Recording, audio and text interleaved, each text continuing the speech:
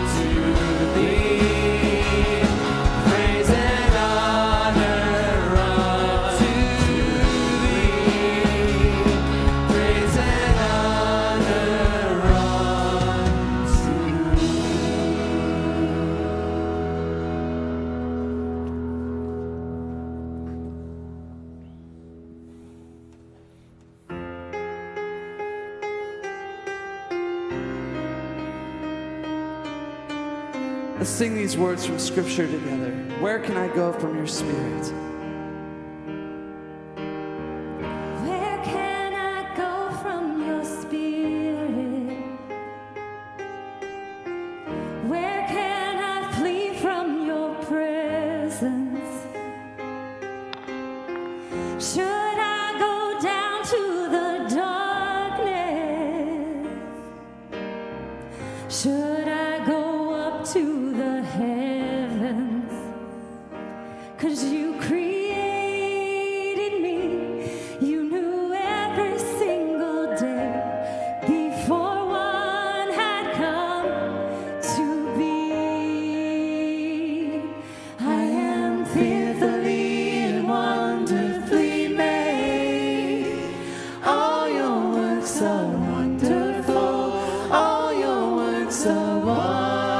Wonderful.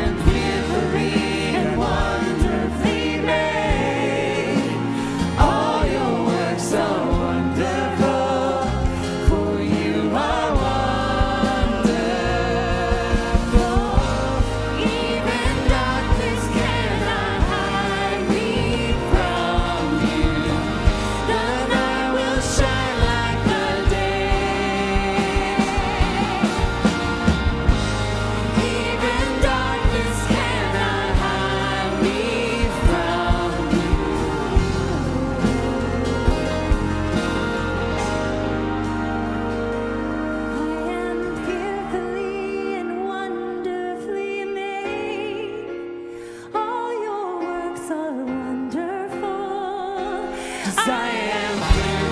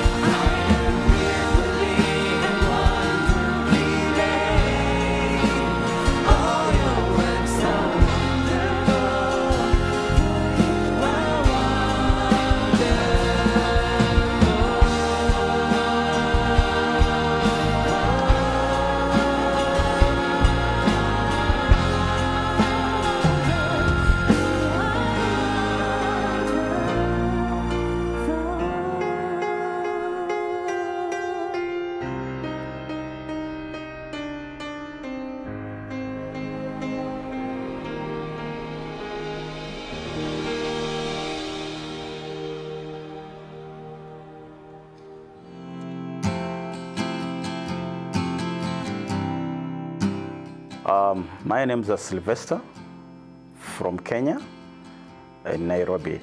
For the Lutheran Church in Kenya, I'm responsible for projects in the, in the church, for coordination of groups that come, missions, for coordination of all our projects within the church.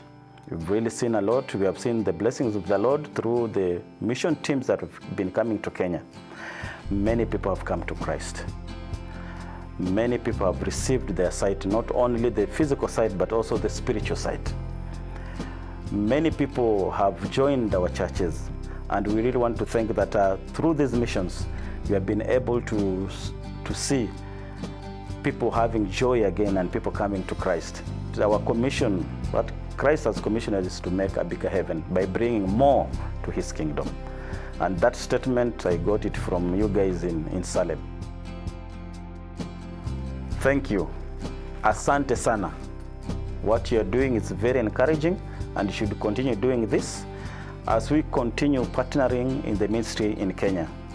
I once felt that I was on my own, but now I'm encouraged and uh, I'm encouraged with this partnership that now I'm not alone.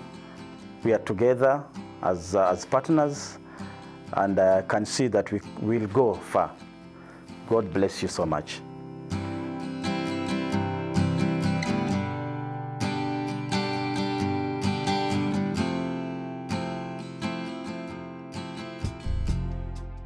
I just love to see the amazing things that have been happening around the world. Like Sylvester's story, that is just incredible to hear the work that's being done in Kenya. That the gospel is being spread through meeting physical needs, but then there's the opportunity to meet the spiritual need. And I just think that's so awesome.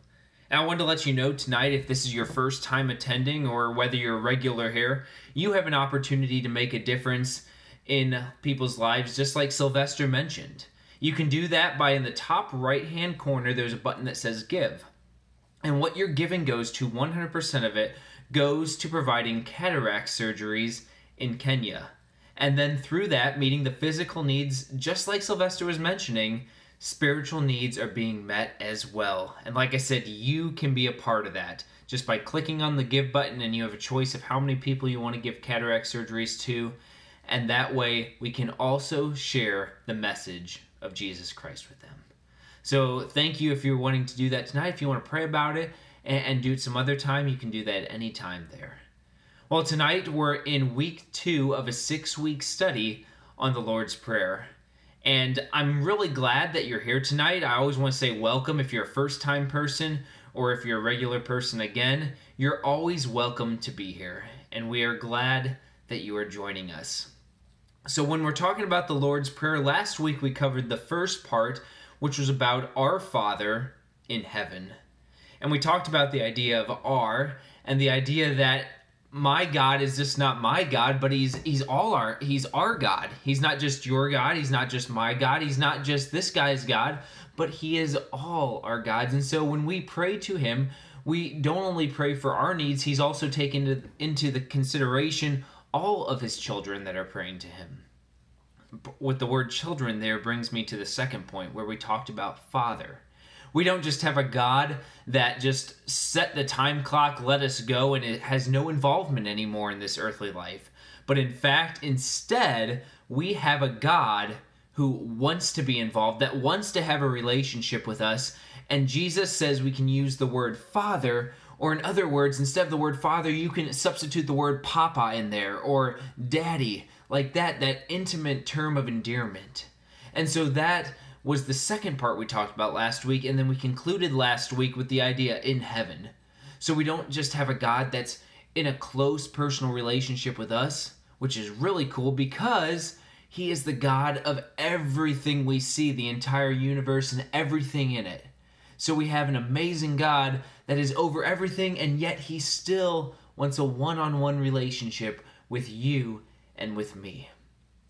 And I think we just have an awesome, awesome God for that. So, tonight, week two, we're diving into what is deemed the first petition. Last week, it's kind of called an introduction, and we dive into what Martin Luther calls petitions now. And the first one speaks of, Hallowed be your name. And we're going to talk about kind of what that, what's that mean? What does the word hallowed mean for first? And what, what does it mean? Hallowed be your name, Father. And so that's where we're going tonight. Now, I want to remind you if if there's any week that you're not able to catch this Bible study, one, it's going to be in the notes tab that you can share that with a friend right now, which is directly below the chat button. And there's a thing that says notes. There's a link in there that'll take you to the full video.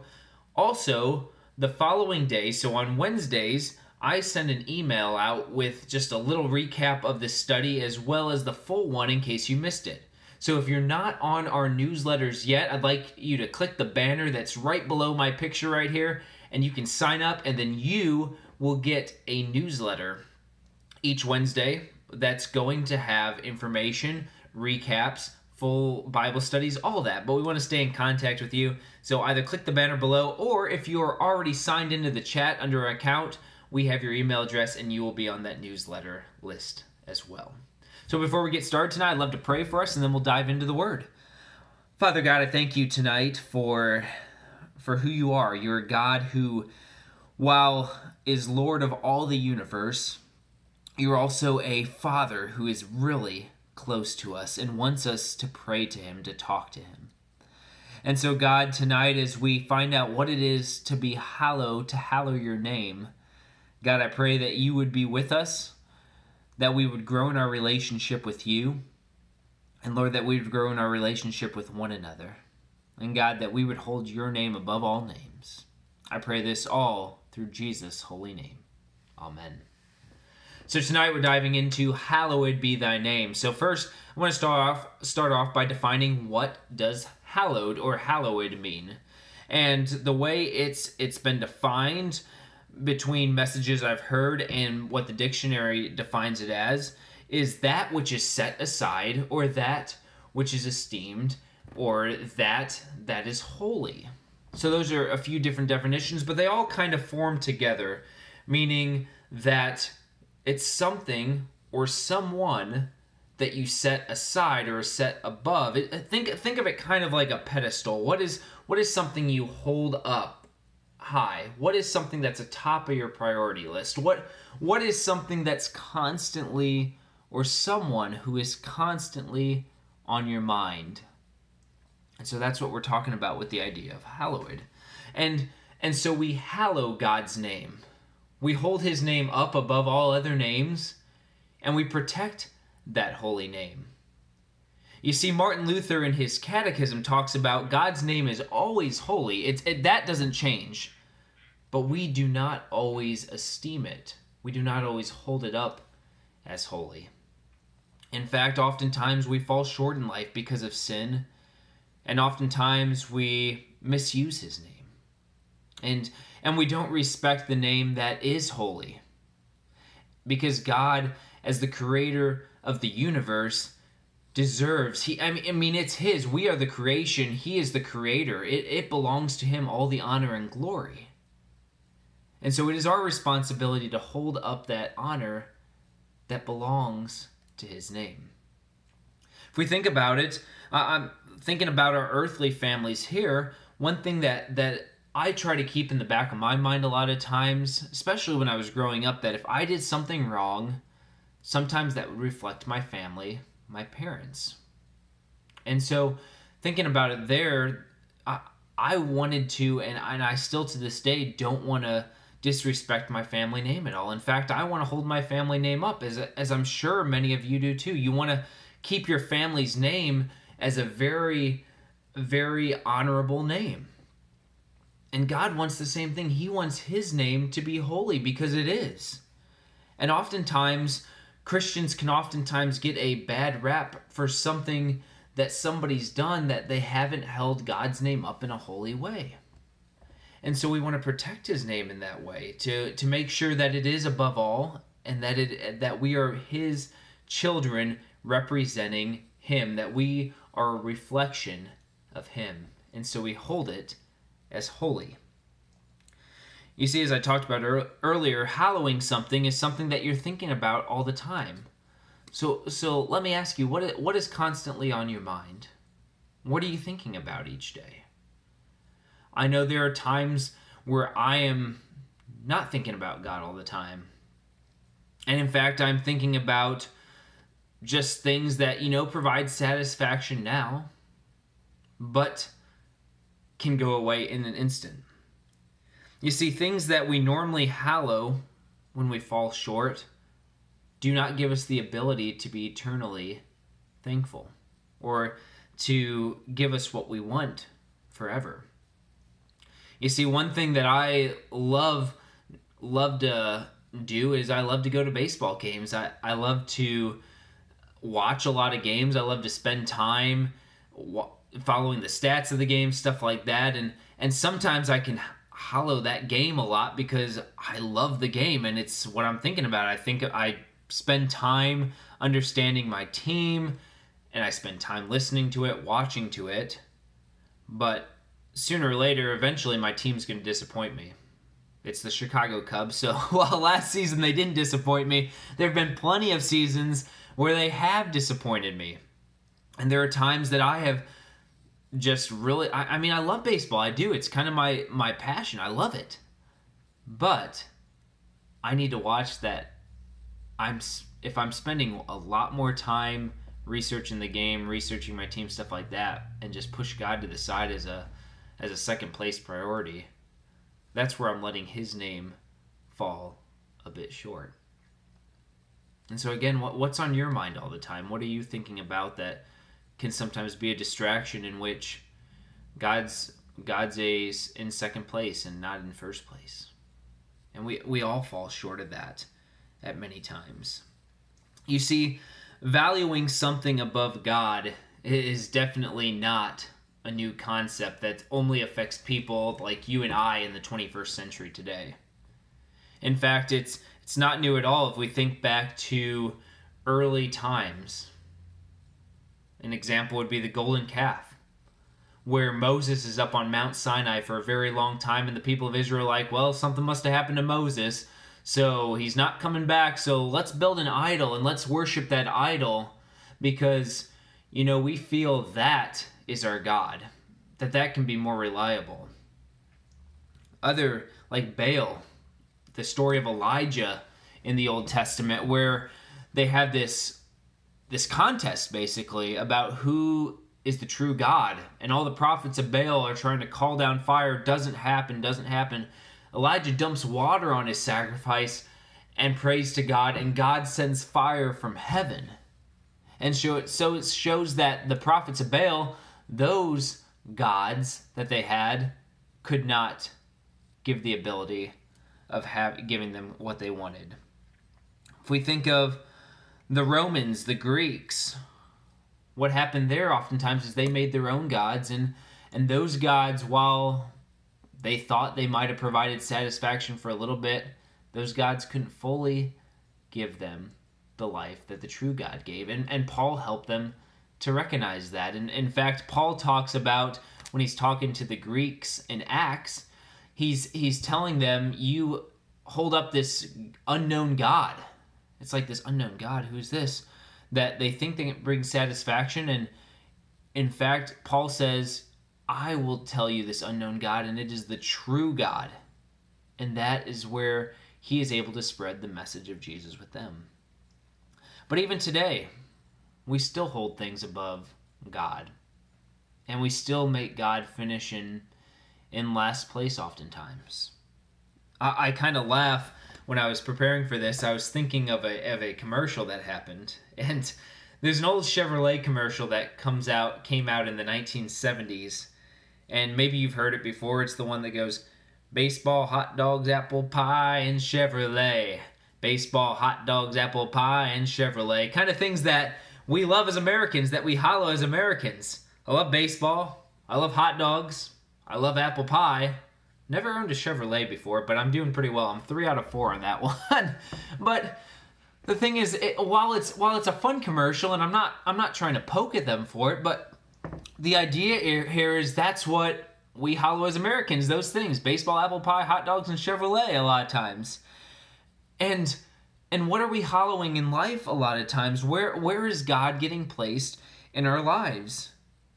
You see, we hollow our cars. We got to have the latest and best car as an American.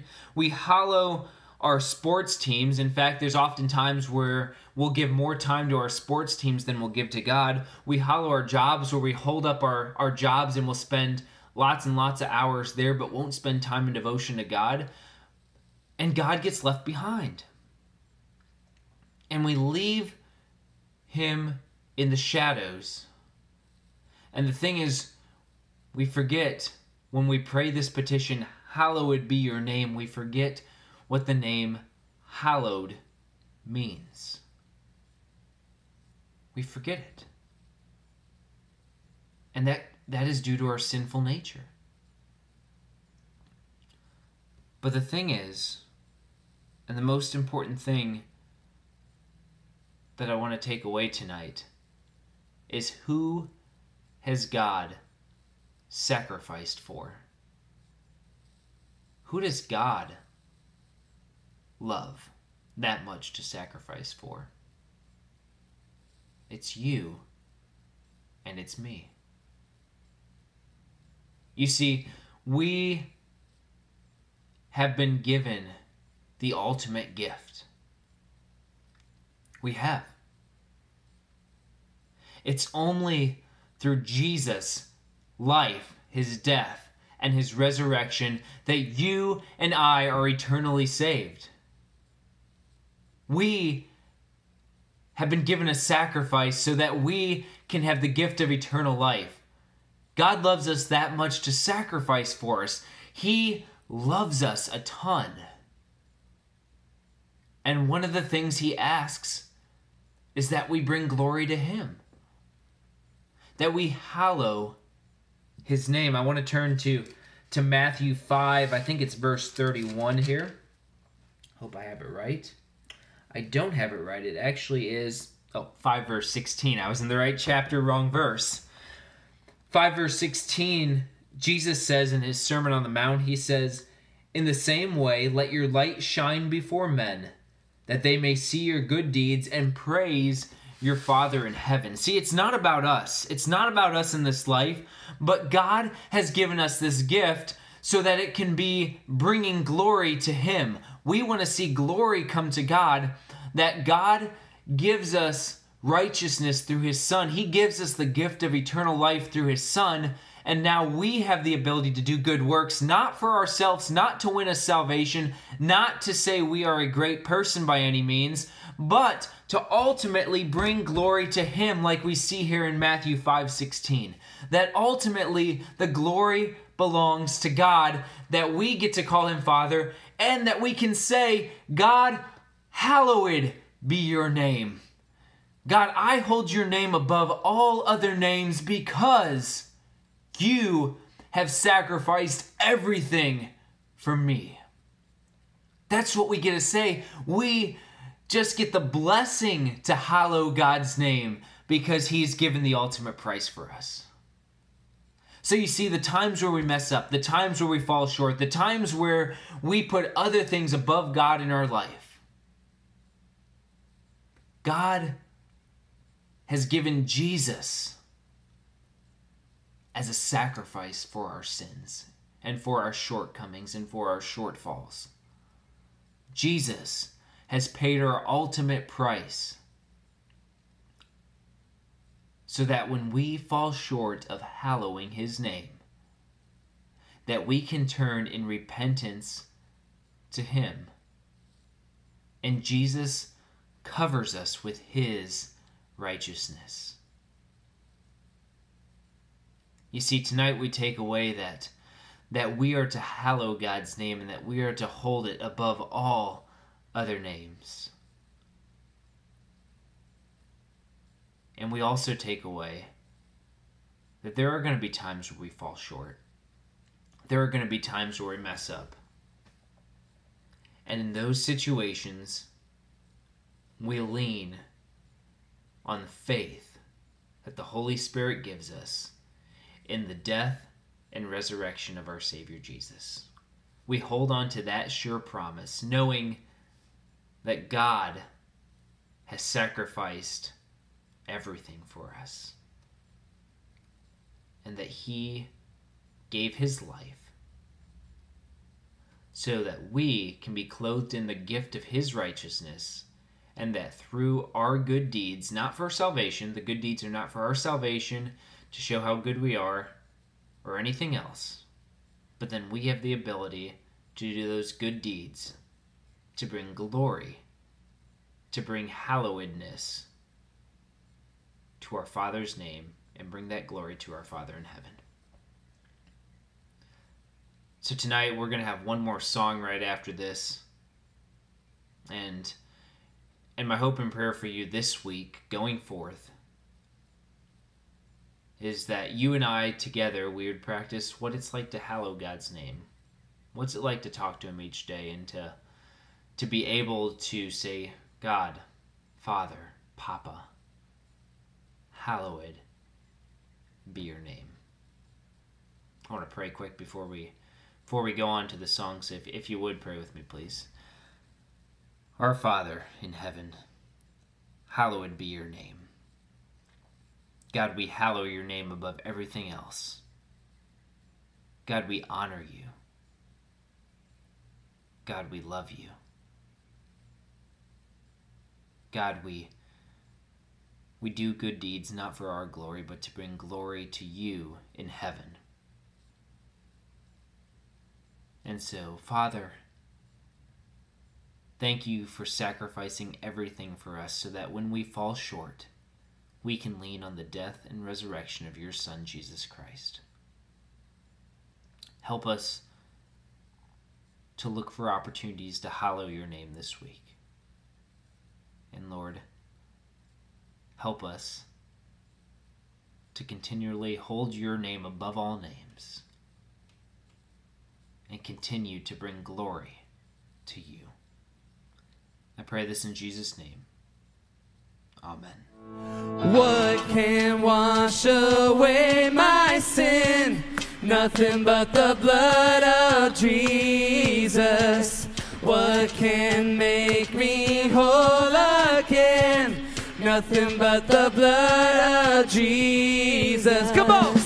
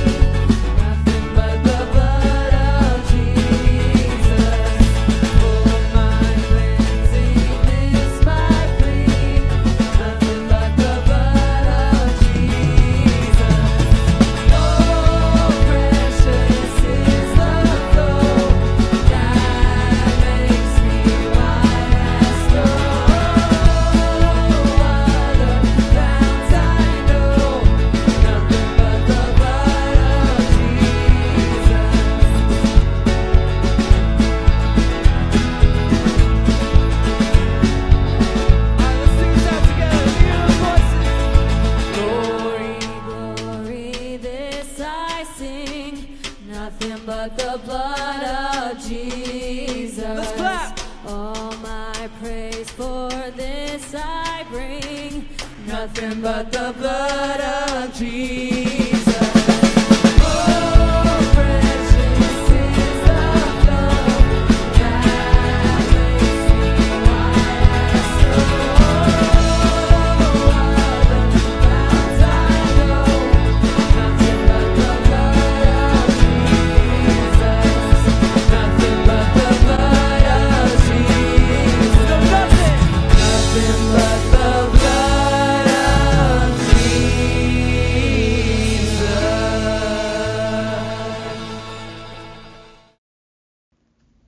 The God of peace, who through the blood of the eternal covenant brought back from the dead our Lord Jesus, that great shepherd of the sheep, equip you with everything good for doing his will, and may he work in us what is pleasing to him, through Jesus Christ, to whom be glory forever and ever.